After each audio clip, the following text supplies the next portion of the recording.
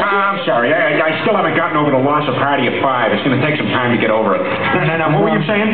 I was just talking about, you know, Dawson's Creek, man. I can't believe they lost that one. That was better than Party of Five. Wait a minute. That's the smartest thing I've ever heard anyone say about anything. I know. Oh, sweet. Tom Cruise's wife's in that show. Uh, okay. What's her name? Tom Cruise's wife? She's. Everything I Wait, say is a lie. Isn't her Except name, that. um, And. Kate? Katie Holmes is that There you go. And. Her and James Van Der Beek. And that. Get a big chin. I get it. And that one kid, I can't remember his name. It was past midnight when the blonde, smoking hot lab assistant, who looked a little like Heather Locklear, only with bigger jugs, was grabbed and thrown onto the lab table.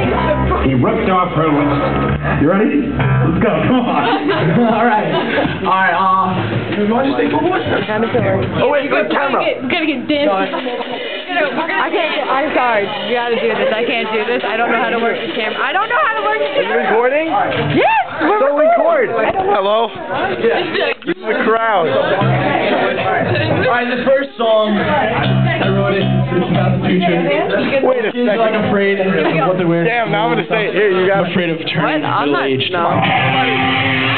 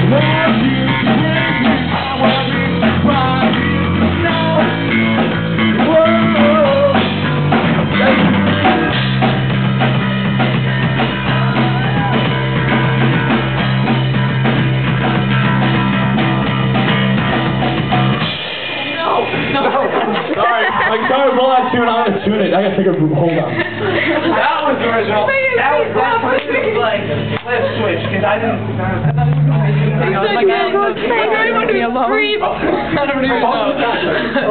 Too bad. I thought he was gonna make me sing with him. I was Say hi. Uh, I should have brought my other guitar. So well, like Tyler How did you break it? I broke a string, yeah.